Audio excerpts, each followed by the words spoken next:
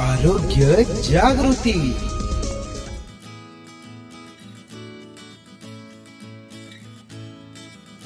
आरोग्य जागृति में आज हम टावी यानी trans catheter aortic valve implantation के बारे में जानेंगे। दोस्तों, ये प्रोसीजर हमारे हार्ट के खराब वॉल को आसानी से बदलने की एक नई अत्याधुनिक तकनीक है, जिसमें ओपन सर्जरी की बिल्कुल भी ज़रूरत नहीं है। मानो जैसे एंजियोप्लास्टिक कर रहे हो। एंजियोप्लास्टी में हम एक कैथेटर को जांग की नसों से हार्ट की नलिकाओं में डालते हैं और जहाँ ब्लॉकेज है, वहाँ एक नई स्टेंट को फिक्स करते हैं। कुछ ऐसा ही टावी प्रोसीजर में होता है, जांग की नसों से वॉल तक एक कैथेटर डाला जाता है। एक बलून के माध्यम से खराब वॉल के मुँह को बड़ा किया जाता है।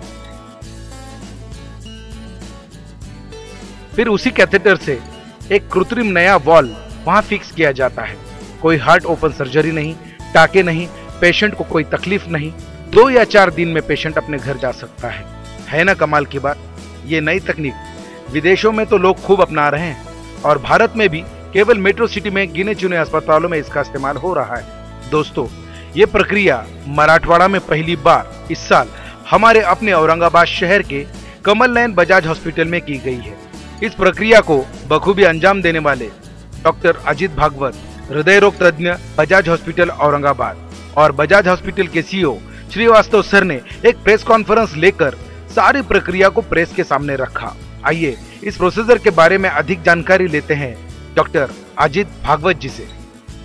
पेशंटला रेग्युलर सर्जरीमध्ये जो इश्यू असतो, की छाती उघडणे, हार्ट उघडणे, हार्ट थांबवणे, त्यानंतर व्हेंटिलेटर त्यानंतर टाके या सगळ्या गोष्टी करतात आणि पेशंट ही प्रोसिजर साधारण अँजिओप्लास्टी म्हणत होती पण अँजिओप्लास्टीचाच एक प्रकार असा असा झालेला आहे. तर परदेशामध्ये हे सुरू होऊन आता बरेच वर्ष झाले तीन ते चार वर्ष. परंतु आपल्याकडे त्या मानाने ही प्रोसिजर गेल्या वर्ष दीड वर्षात आलेली आहे भारतामध्ये मेट्रो सिटीजमध्ये सुरू होऊन वर्ष दीड वर्ष ऑलरेडी झालेलं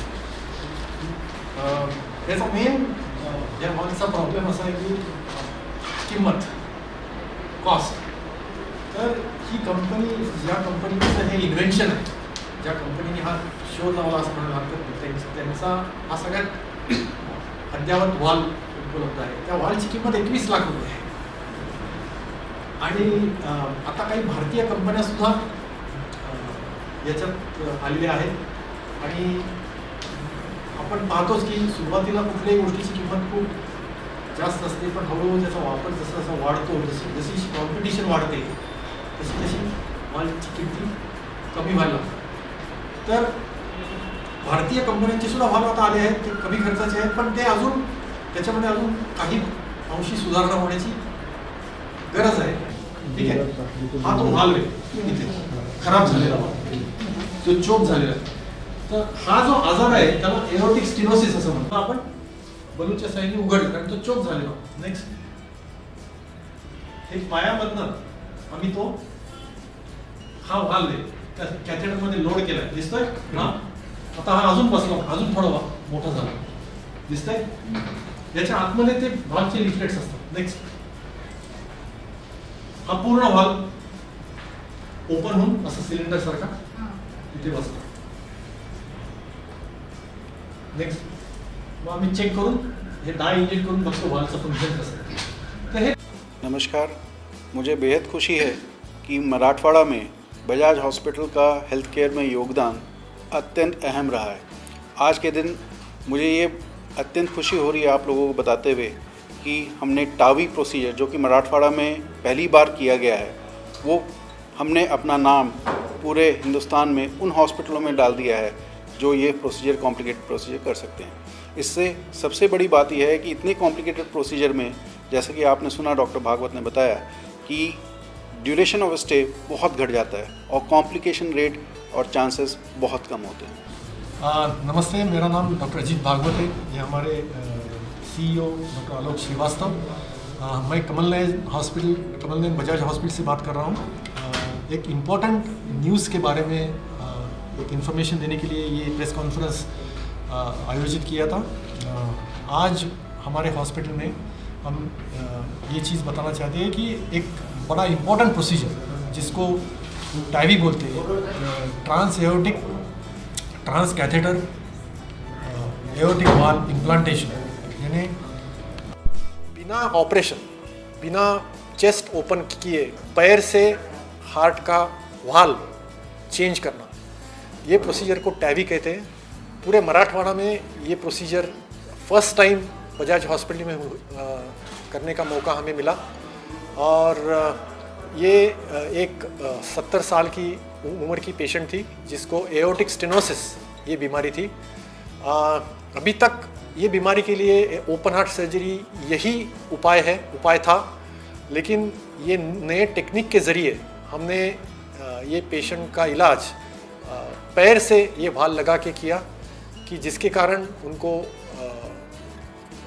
जो सर्जरी के कॉम्प्लिकेशंस रहते, सर्जरी के जो डिफ़िकल्टीज़ रहते, उसका वो मुश्किलों का सामना नहीं करना पड़ा। और ये मराठवाड़ा में की गई पहली प्रोसीजर थी। इसका ये आप, आपसे शेयर करते हुए मुझे बहुत आनंद होता है।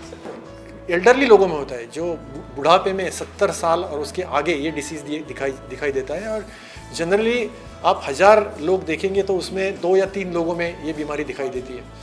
और इस, ये जो वाल रहता है, हार्ट का मेन वाल, वो ओपन न होने कारण हार्ट का जो मेन चेम्बर रहता है, उस पर काफ़ी प्रेशर आता है और उसके कारण हार्ट फेल होता है।